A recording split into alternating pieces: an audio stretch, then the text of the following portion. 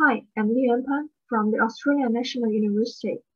Arif and I will present our work, Dual Pixel Exploration, Simultaneous Depth Estimation and Image Restoration.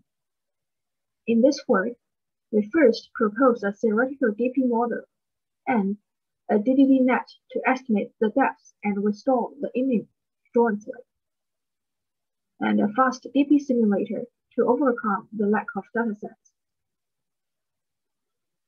The DP hardware works by splitting each pixel in half and creating an image pair in a single snapshot.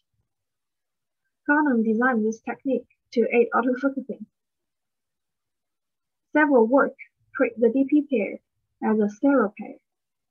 Besides autofocus, it is used in depth estimation, defocus deblurring, reflection removal, and shallow depth of field image synthesis. A DP camera imaging process can be modeled like this. One image formed from light rays passing through the right half of the aperture, and one from those passing through the left half of the aperture. Because of the displacement of the two half aperture, the two images form a stereo pair.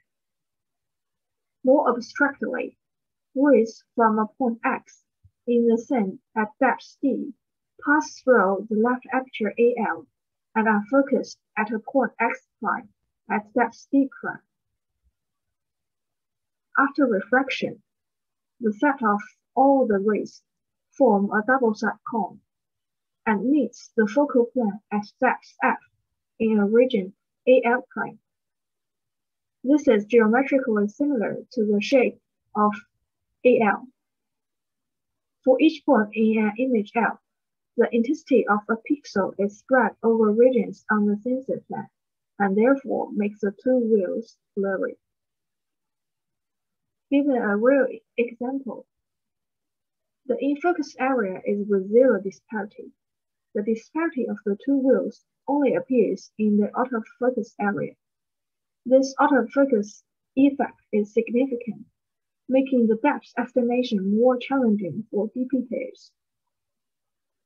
Thus, computing depth from a DP camera can be seen as an autofocus stereo estimation problem.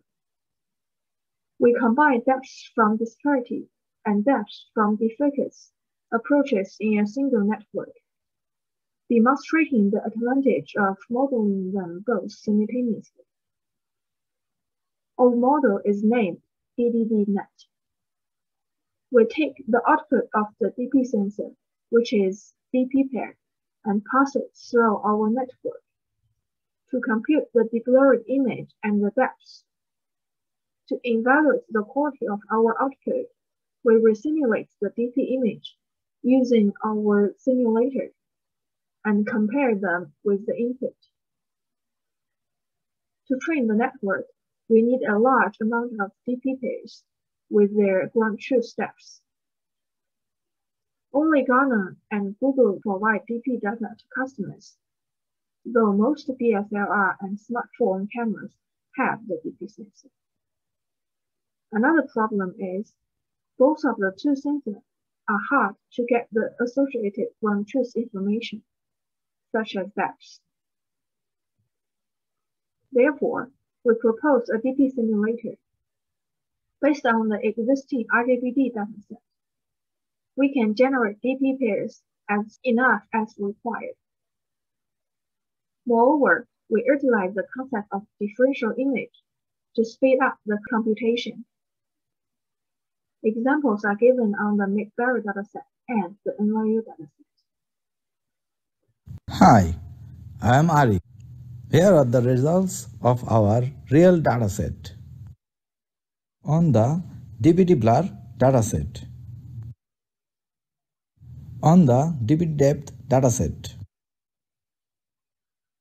On our synthetic dataset. Approach achieves competitive performance compared to the state-of-the-art approaches.